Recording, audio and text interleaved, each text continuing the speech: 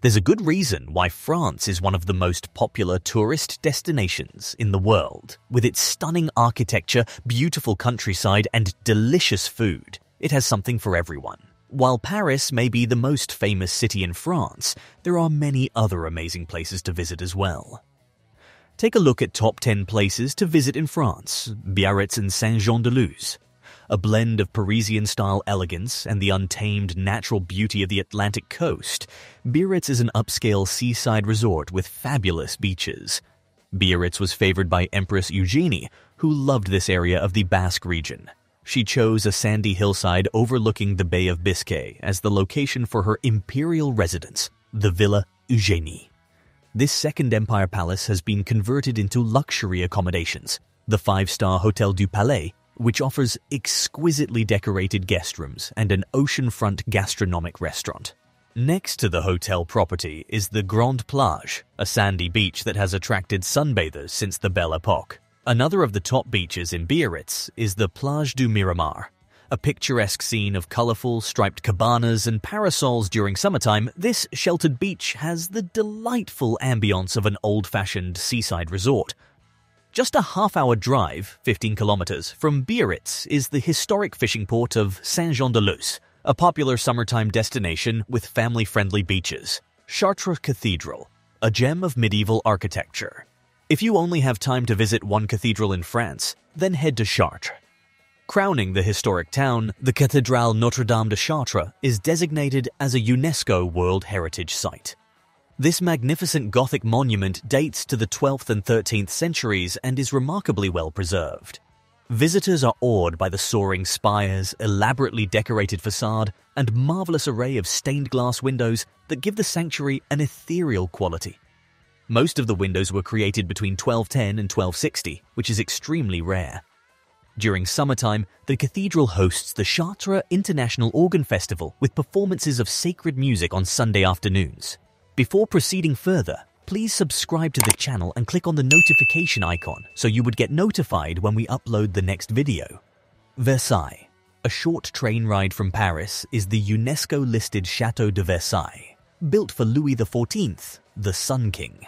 This opulent 17th century palace is a testament to the glory and absolute power of the French monarch. The chateau's splendid Baroque facade, dazzling hall of mirrors, and fountain adorned formal gardens allow visitors to imagine a scene of France's bygone royal court. Versailles immerses visitors into the extravagance of France's Ancien Regime, the glittering world where Marie Antoinette hosted lavish balls and garden parties.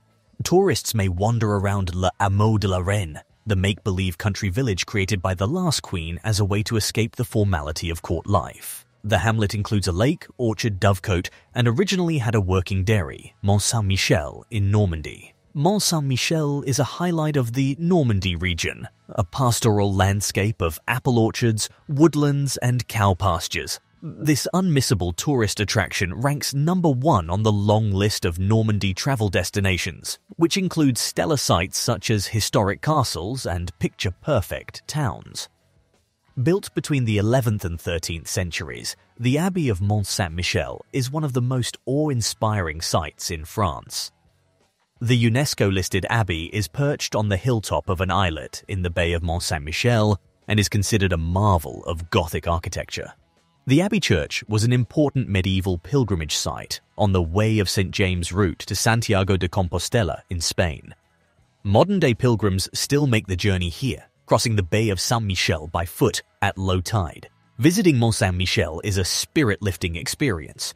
Tourists may attend religious services, concerts, and cultural events at this sublime historic abbey, the Chateau of the Loire Valley. Like the scene of a fairy tale, Magnificent castles are scattered throughout the densely forested landscape of the Loire Valley, stretching for 280 kilometers from Sully-sur-Loire to Chalonnes-sur-Loire in Anjou. The Loire Valley is the largest UNESCO-listed site in France. The region boasts an incredibly rich cultural heritage.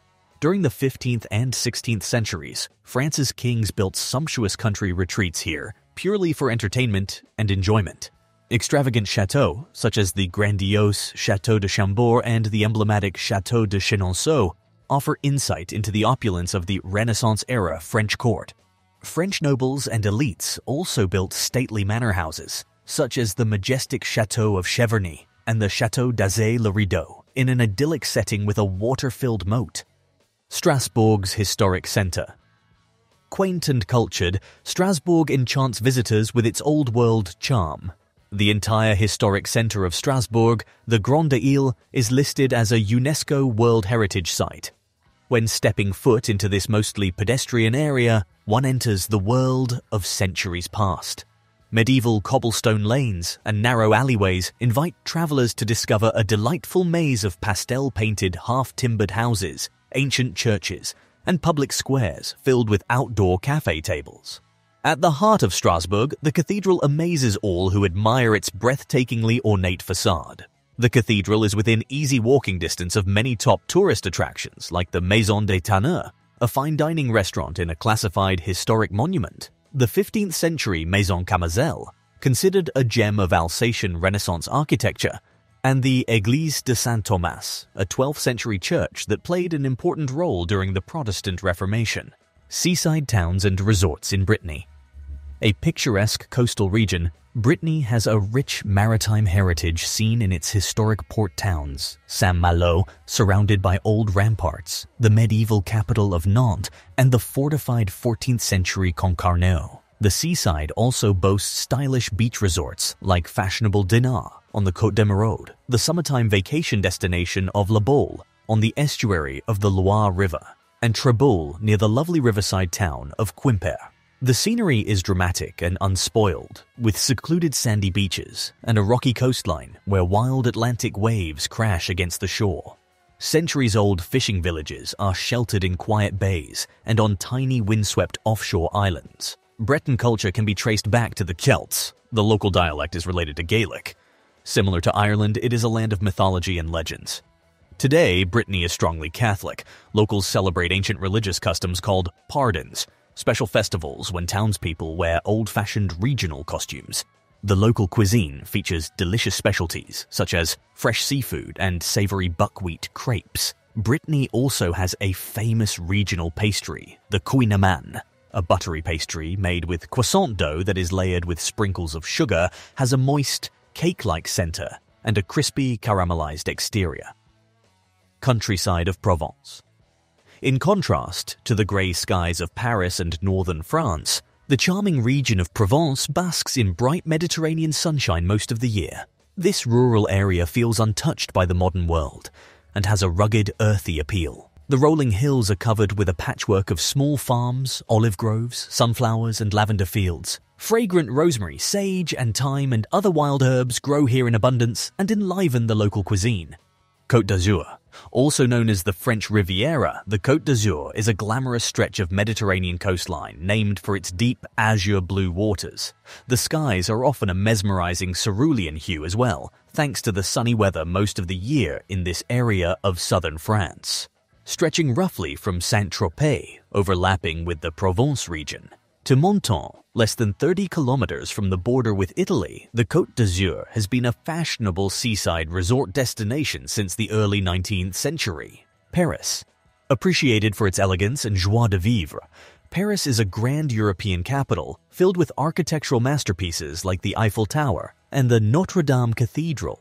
Reflecting the city's rich heritage, the Louvre, one of the top museums in Paris, contains an exceptional fine arts collection, while the Musée d'Orsay and the Musée de l'Orangerie display treasures of French Impressionist art. Other charms of Paris are its atmospheric medieval quarters and graceful boulevards. Which one of them you loved the most? Do let us know in comments. Also, if you enjoyed watching the video, please hit a like button. Subscribe to the channel for more videos like these. Thanks for watching